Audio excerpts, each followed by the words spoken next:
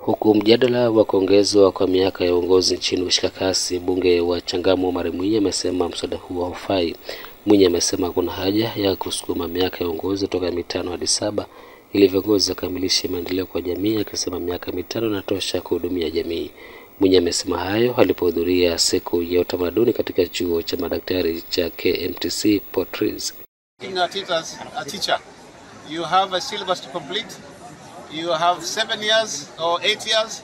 You have to make sure within those seven years or five years, you complete the syllabus and the exams course is done and students are supposed to pass. So if we plan our activities well, five years are just enough for you to complete whatever you want to do. That is my opinion. We don't need to extend seven years because five years are sometimes even a hell you even wish sometimes uh, they come to an end so that we have some, some change.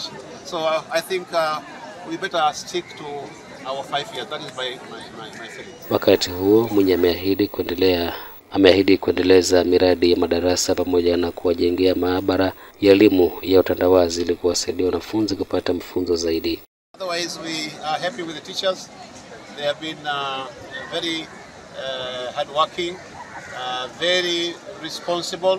They've been guiding our students for all these years. We've never had uh, uh, bad incidents except for one, when, uh, of course hung himself. But at least that was just a mere incident. But we have never had any other bad incidents. So uh, we can urge the principal and the staff uh, to maintain uh, that uh, relationship with the students, to guide them, uh, to help them in uh, uh, trying to balance themselves in, in terms of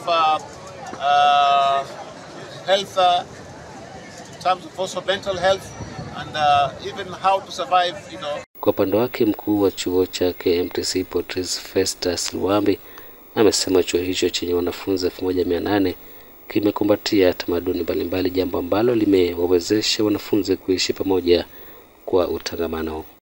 Mixed community with diverse cultures and communities. And KMTC Port Reitz has over uh, 1,800 students from all over the country.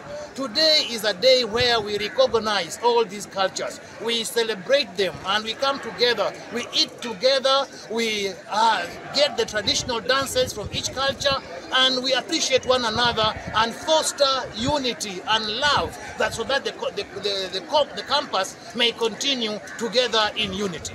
Ali Vincent, Benvin TV.